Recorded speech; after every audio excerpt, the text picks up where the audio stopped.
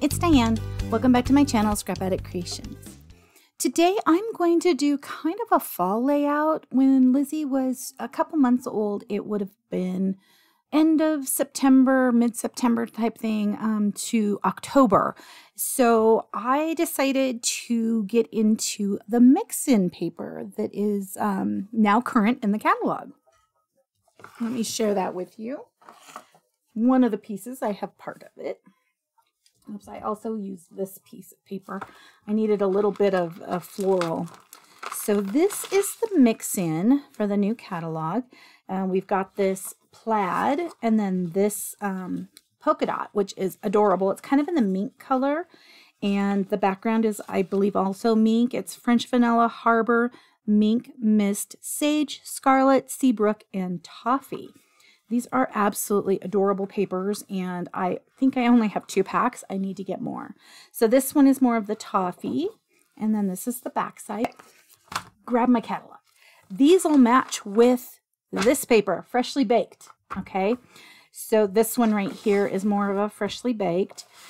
This one I'm using today, it's adorable. I love the colors on it. It's kind of a a mist color, but it looks very textured, kind of like a denim. And the backside is this wood grain, which I am not using, but it's cool.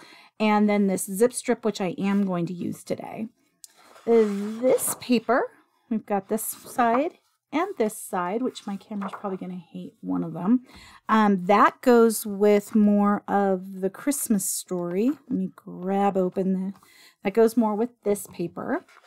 Then we've got this kind of, it's a sage. And I don't know if you can see it, but there's little hearts. Oh, goodness. Hearts on here, which aw awesomely reminds me of the Good Vibes paper.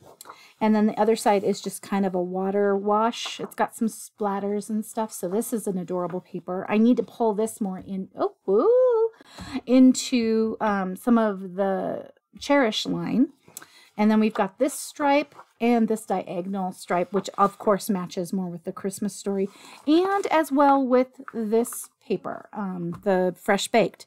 So these papers are amazing and they work really well with everything. So it's nice that I've got these papers to kind of make things kind of mix in well with the um, the book I'm doing. But like I said, I only bought two packs and I've used pretty much both sheets of this paper now. Oops, have this sideways. And I will need to get more of that. I tend to, gosh, lately I think I've been getting about six packs of the mix-ins. And remember, there's only one sheet of each paper on there, so I'm only getting like six sheets of paper. This is from um, Happiness Lives Here. And I needed a little bit of a floral, but I needed to kind of be tamed. So I went with this one. The back side is this little plaid, but I did go with this for one of them. It, it cut out all of these. I didn't want to. Sometimes if I have a lot of um, cuts to do and I just kind of look and I see, oh, it's going to cut a bunch of stuff, but I don't really want to take the time to get out of the program, go back in. I'll just cut it. So I have extras of those if I need them. Okay. So like I said, today we're using the mix-ins, except for that one paper from Happiness Lives Here. And the layout I'm working on, I only have two pictures. I am going to have to do a second layout of it for my other daughter. Um, when I do her book, this would, she would be, uh, she's almost three, I think, in this picture, Allie is here. And this was just, they were on my bed and they were snug as a bug in a rug. And then I was folding laundry.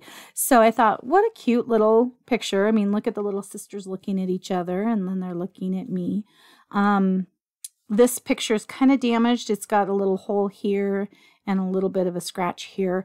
I stapled this into her baby book. And so I pulled it out and cleaned it up as best I could and then just made copies. So these are copies and actually these are better than the originals. Let me grab the originals. I have them over here.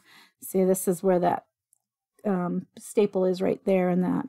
So look how much brighter the pictures are from what I scanned in. So I'm really excited about that. And then here's this, but it just did have that staple mark and then this little scratch right there. But what I said before, I like that they're brighter. I matted these on mist. The pictures, I'm going to say they're like, here's six and a half by four and a half, pretty close. Um, I just printed them up and I'm, like I said, really excited. So I've got those. I made this title, Loads of Love. I debated, and it's on the cut file below. This banner is too. I did offset it and then I erased the center and I did it all in mink. And then this is that, um, this pattern paper right here that I just showed you that looks kind of like a denim. Um, I've got Mommy's Little Helpers and Loads of Love on there. I cut out both, but I like the Loads of Love. when I was putting it on here though, I, um, so these hearts are not on there. Um, I put the of on and then I went and put the love over here and I was like, oh shoot, I should have put the loads and the love and then put the of kind of centered and put a heart between them if I was going to have that much room. But because I put the of on there, I just put the two hearts right there. I actually punched them out. And funny enough, I use this punch so often. So I've been thinking about getting rid of some of my punches. But this owl punch, I use it for the circles because there's three different sizes of circles and this heart that's on here. I rarely use it for the owl, but this heart and those circles I use all the time. They are the perfect size. And these are just the eyes for the owl. I think it's hilarious. So I use that more than I use any other circle punch when I'm doing things. And I punched out these little ones right here for the buttons on these little flowers. Okay, so let's get back to the sizes. I do have this twine, which is a lawn fawn twine. Um, it's just kind of a natural twine.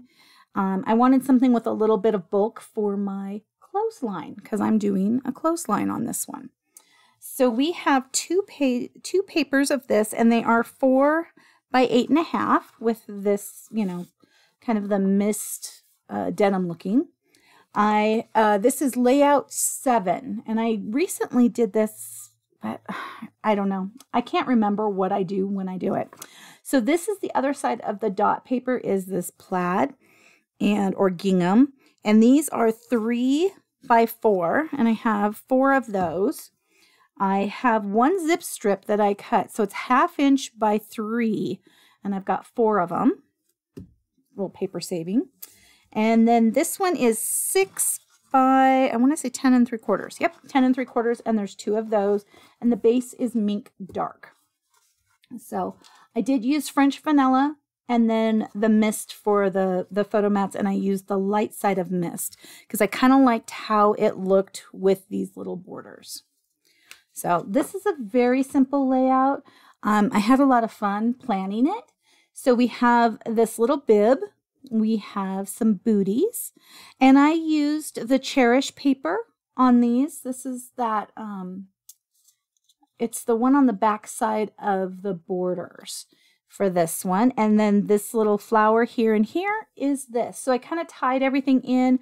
The base color right here is mist for the little dot. Um, this is from the circle, and I sat that somewhere because I was, well, here, this is what I used. So uh, this is that circle that's cut out of the center of it. Here's the circle. Um, I just used this for the one side. It also had some little breeches with it. And um, I just, they were kind of cut off because of the way the circle was. Um, but I really just wanted the dress. And then I took two of the hearts from the owl punch and put on there. This is toffee right here, um, uh, dark side for the little clothespins. This is what I used for, um, out of all those cuts I made on the Happiness Lives Here floral one. See, there's there's a onesie, there's the booty tops, which is here. There's a bib, and then of course this is what I used. I just wanted this piece. And then look at these little bridges. So I've got mist uh, light behind it, and then this denim paper as the top. But I just thought that was so cute. And again, I put everything together uh, because I didn't want to have to fuss and whatnot on the screen. I used, um, well, this one is Sage, and no, this is uh, Seabrook. And this is honey butter for the little flower there. This did break off when I cut it. It cut horribly. So it doesn't go all the way up, but I was like, eh, whatever. Whatever on that one. So each side gets the same bits on this layout. It is um, just mimicking each side. So let's start with that. We'll start with the right side like normal. And then after I get that down there, I, I'm going to take my circle hole punch. Um, there's some adhesive on it. And I'm going to punch some holes. So I'll have to lift this up. But I will mark those before I do it because I want those to be straight. Um, this piece right here, let me see here. I'm going to just put it in about a fourth of an inch. Oh, my table is, uh-oh, I set that down. We could have some problems. Oh, it only grabbed this paper. Cool. Okay, so a fourth of an inch in and just kind of centering it visually. And then I was laying stuff on here. I got, okay, so Erin always recommends this Bearly Art Precision Craft Glue. I am not sure that I recommend it. So far, I have liked certain parts of it, but when it dries, it says it dries clear, but it dries leaving a mark on these papers. So I did wipe a lot of this off, so this one looks pretty clean. But the reason why I added the hearts to the socks is because I had gotten a little drop of glue there and you could see it. So I'm hesitant for the price point of this to say this is a fantastic glue. Um, aside from the fact that it, it does work. I mean, it, it is a glue, it works like a glue should. I'm just not sure it's the right glue for any projects I'm doing because I tend to be a little messy. Okay, so I'm going to start this one at right about three and a, well, I'm looking down here and it's three and a half right there. And at four and a half, I need to fix that a little bit. I'm a little over from the four and a half. Okay, there we go. And then here, there's two, oh, well, if I'm going from here, it would be two and a half. And that line right there. And then the bottom side,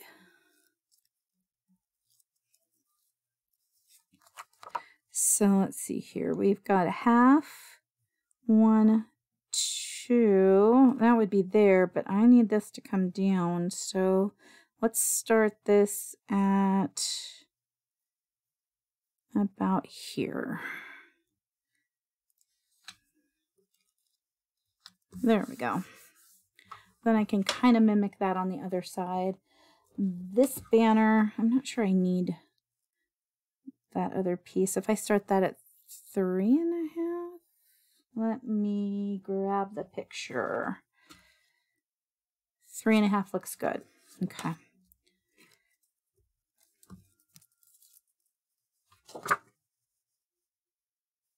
Okay, so there's three and a half. And here is three and a half. Okay, so these little pieces, I was gonna like add an additional like up here, but then I decided I was just going to put them right here at the very top of this. So it's kind of integrated onto that piece. It just saves me from having a little more bulk up. And then we'll put this here. We'll trim as needed. Okay. I'm going to do the um, the paper on the other side and then we'll come back and we're going to do these little holes down here. Okay, I think I'm going to set all these little bits on my desk. They're big enough that they won't fall through and then I don't have to worry about moving them back and forth. And then let's move over here. And let's put you, let's lift you up a little bit. Okay, we're going to start this one again at a fourth of an inch in. Keeps that kind of consistent. It's always a good thing. I absolutely love this polka dot. I, I'm always a fan of a good polka dot. So, and this is a beautiful one. It's got that texture to it, and it's also got um, randomness, which I love in a polka dot. I, you know, I I love a good polka dot. Let's just throw that out there again. I do love a good polka dot. What I love about this one is it's random. It's got kind of a texture on the paper. It's in mink, so you can never go wrong with that. And it's just adorable. So that's my story.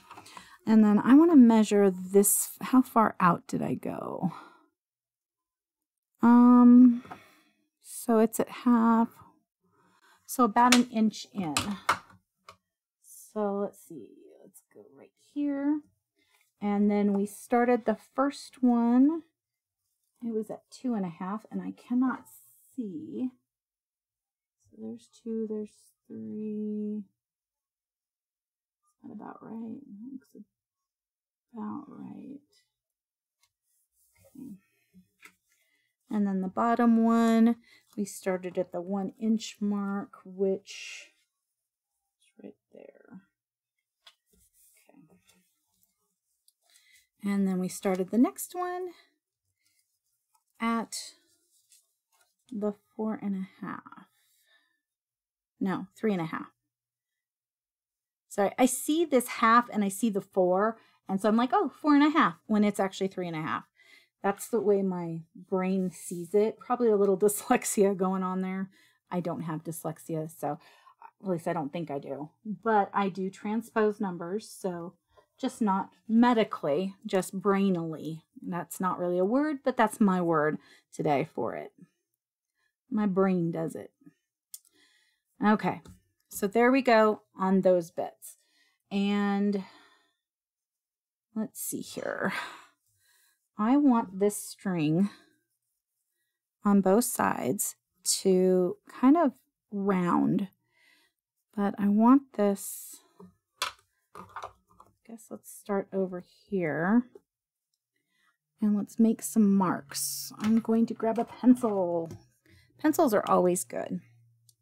And let's go in about to here and to about here. And that is pretty even with three and three quarters. So let's go over here. No, not three and three quarters, two and three quarters. Again, I did it again because here's three quarters and here's the three. so two and three quarters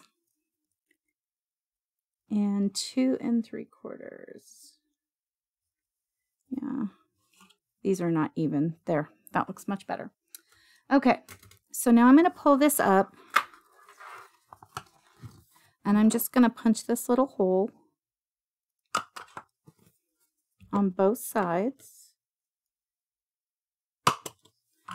And then I'm going to feed this string through here. And on the back side, let's see here. I kind of want it to hang, or do I want it to hang? Let's see here. We've got this one for over here. We've got this one. Oh, it might need to be up higher. Oh, it's kind of low in comparison to what I need.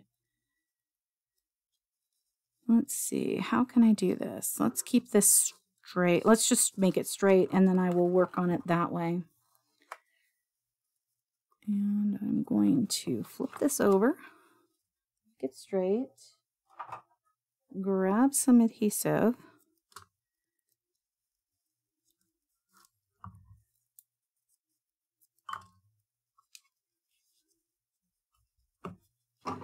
trim, go. Okay. And I'll put this back down so it doesn't wiggle. Okay, so I'm, I should have planned that a little better, but I think I can work with it. So that's kind of where I wanted it anyway. Oh, I guess I suppose I have to, you know, punch the hole first. And I could have changed it on this side, but I think I think I'm still fine.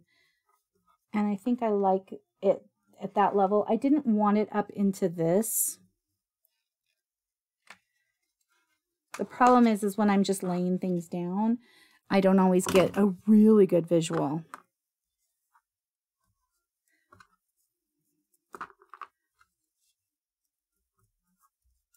Okay, trim this one a little bit.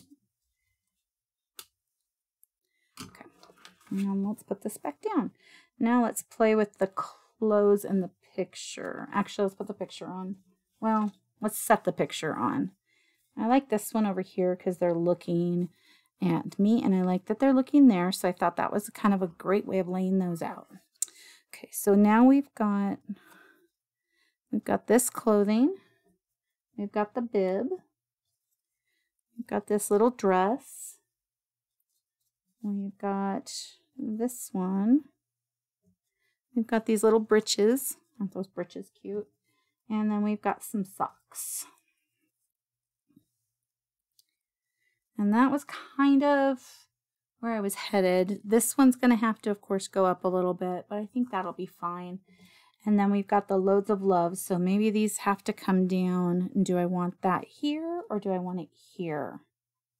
Or do I want it here? Oh, I kind of like it on that. Ooh, I like that. I still like this picture down low and I can kind of cover that perfect. That looks great. Okay, this is my idea. I am so excited about this layout.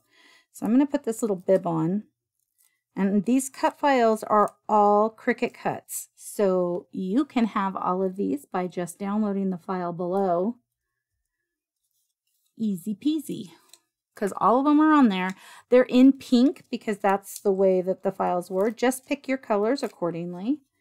And in all reality, I would cut extras and try and play with them because you never know what pattern's going to work.